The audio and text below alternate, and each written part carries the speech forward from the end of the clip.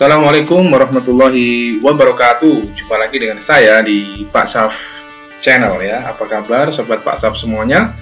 Semoga sobat Pak Saf semuanya dalam keadaan sehat dan tetap semangat ya. Tetap patuhi protokol kesehatan, pakai masker, double masker kalau perlu jika berpergian, hindari kerumunan, sering cuci tangan dengan sabun dan air mengalir, makan makanan yang bergizi dan segera ikut vaksinasi ya karena saya meyakini bahwa vaksinasi merupakan salah satu cara terbaik untuk mengakhiri pandemi COVID-19.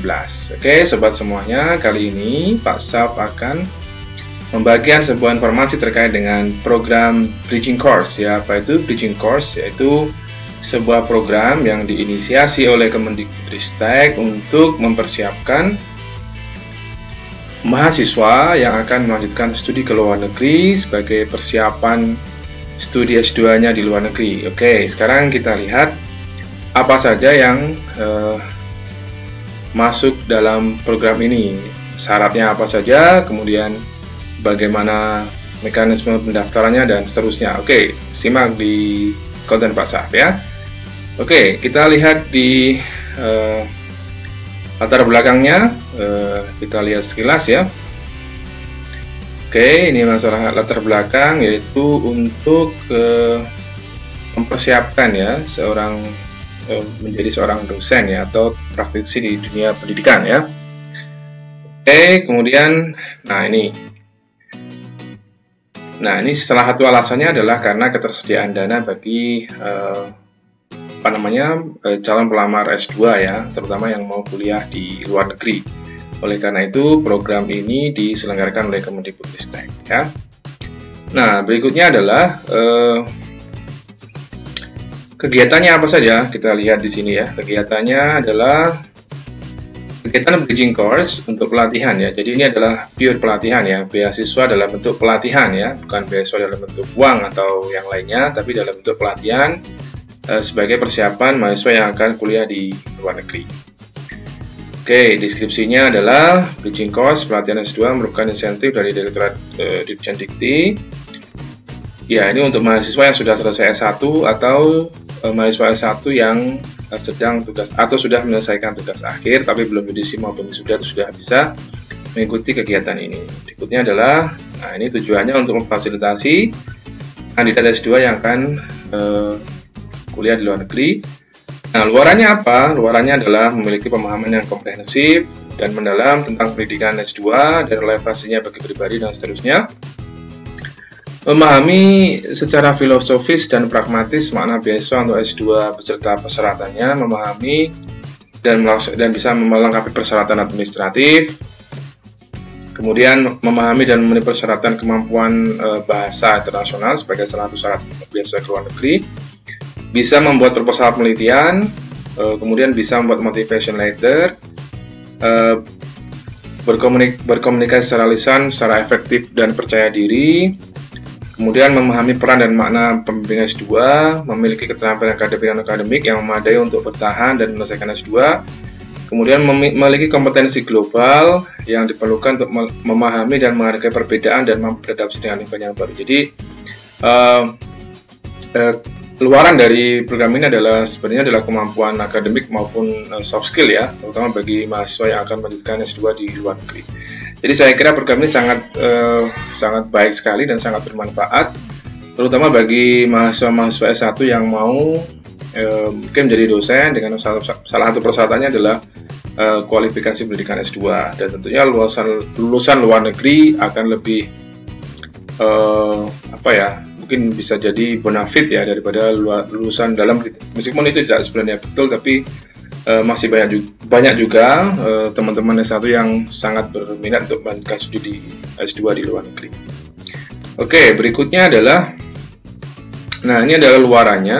Uh, luaran program ini adalah uh, ada tadi luarannya misalnya mem memiliki pemahaman yang komprehensif terka terkait dengan pendidikan S2 kemudian filosofis dan pragmatisnya selanjutnya adalah jenis-jenis beasiswa itu dirangkum dalam sebuah uh, program atau kurikulum yang bernama uh, pengantar dan filsafat sains ya jadi uh, pengantar dan filsafat sains itu uh, muaranya akan memberikan pemahaman filosofis, pragmatis dan seterusnya.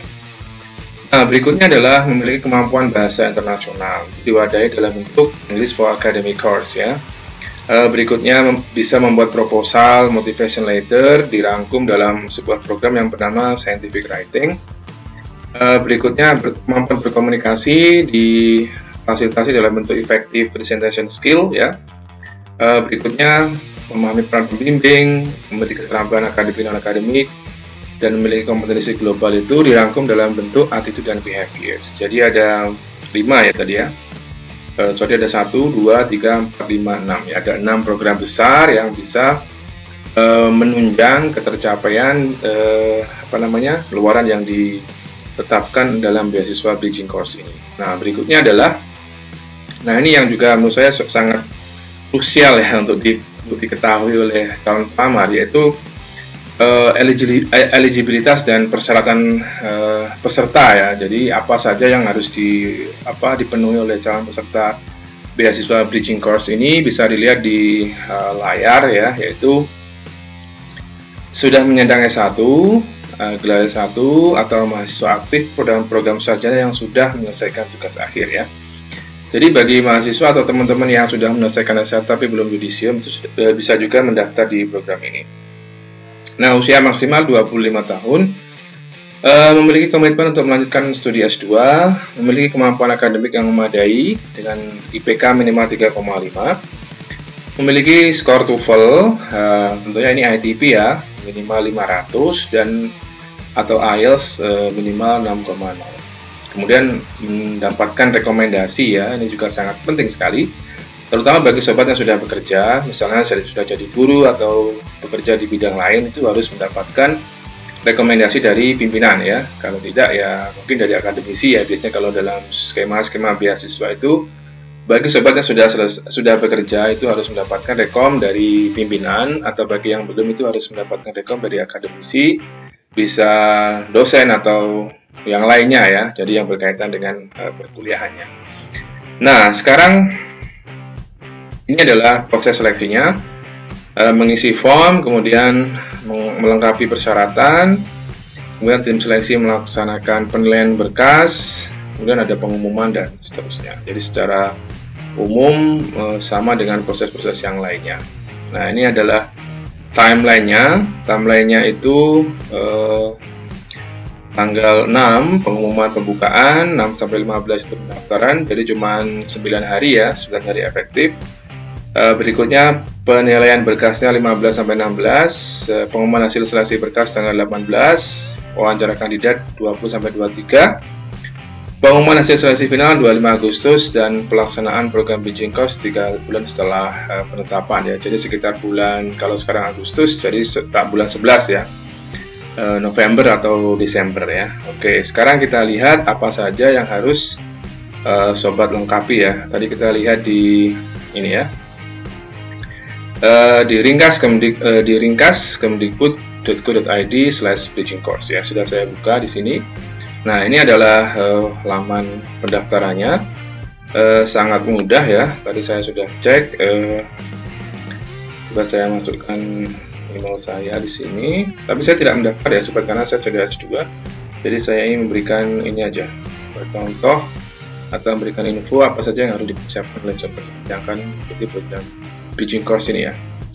Oke, setelah saya masukkan email, uh, berikutnya adalah ini ya, uh, nama lengkap, tanpa gelar, gelar, sar, uh, gelar sarjana, kategorinya apa? Kategorinya ini lulus S1 atau mahasiswa aktif program, program sarjana akademik ya, jadi artinya belum selesai ya, sudah selesai tugas akhir, namun belum wisuda atau belum ya belum wisuda ya. Berikutnya NIK, tanggal lahir, nama perguruan tinggi, IPK, kemudian uh, upload transkrip, kemudian nama lembaga yang mengeluarkan sertifikat TOEFL ya. Jadi menurut saya ini sebaiknya ikut TOEFL yang ITP aja ya, karena secara secara resmi itu mudah diakui dan biasanya karena ini juga terkait dengan kampus Merdeka dan juga mungkin juga LPDP, jadi saya sarankan untuk menggunakan TOEFL yang ITP. Uh, nilainya berapa, tanggal terbit sertifikat yang terkait dengan validitas dan masa berlaku sertifikat ya, biasanya 3 sampai 4 bulan ya. Jadi dicek lagi sobat semuanya kalau sertifikatnya sudah expired sebaiknya ambil lagi ya. Kemudian uh, sertifikat UFO-nya diupload. Nah, ini kemudian surat pernyataan komitmen. Jadi apa? Bisa dicek di lamannya apa ada formatnya atau tidak. Kemudian upload surat rekomendasi dari pimpinan atau akademisi. Setelah itu kirim ya.